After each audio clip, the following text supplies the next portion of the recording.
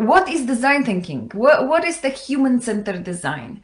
Um, the best and the easiest explanation is when you design something, you don't design for yourself. You design for people who are going to be using that. And I give you one of my two favorite examples of uh, which, you know, of the best designs. And later on also, I will tell you what is the resilience and how to make sure that you can figure it things out on the way where you go. So one of the example uh, is, mm, I will talk about the Dyson. Dyson is a company which is here for you know 160 years and it's the most innovating company. But how they doing and what they doing? Let me talk about the last uh, the invention, the Hoover. So a lot of us is having a back problem when you have to plug the uh, Hoover into the uh, socket. Then you need to you know kind of walk around with the cable. It's quite heavy. Walking through the stairs uh, all of those it's like really painful exercises. But what they have came up with um, is stand and uh, cord free hoover. So we basically stand out it's very powerful. Now everyone is copying it. There is a lot of uh, different guys who are just copying it. But this hoover it's really really useful. It's actually adds value. It solves the problem. So you walk around, you do not have to play with these cables and you don't have to be on the floor with carrying something else around. So, and they didn't come up with that straight away with a beautiful and perfect Hoover as it is right now.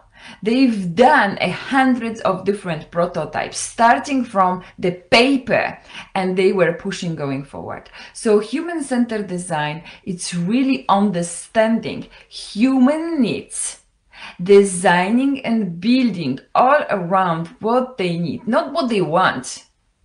So how do we design products and services that are meaningful and also uh, adding value into your buckets. So this is about today, about all design thinking and innovation using for building the businesses or either creating the job you, you wish for or you want within the organization.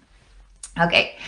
And resilience, it's a very totally new, very totally new, we can say that, uh, totally new kind of the workshop. So we're doing a co-creation, we're using the Discord, which is the software for um, gamers, but this software allows us super agile movement around the rooms. Agile allow us to people to be able to change the rooms, move. It allows us to uh, keep the track of the tasks we're doing, sharing the information, a teamwork, so super powerful. And we're doing this globally. So guys, we have uh, we have uh, um, people from Singapore, from Philippines.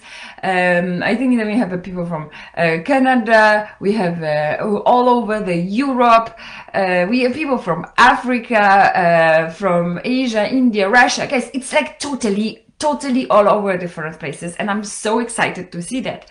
Why is that? Because we're all thinking differently and bringing different powers. And in terms of the jobs and responsibilities it's again we have from the artists into the uh, engineers through the lawyers through the financial specialists uh, and um, all really really diversified. And this is why it's so beautiful because we're not putting things and people into the boxes before we created something.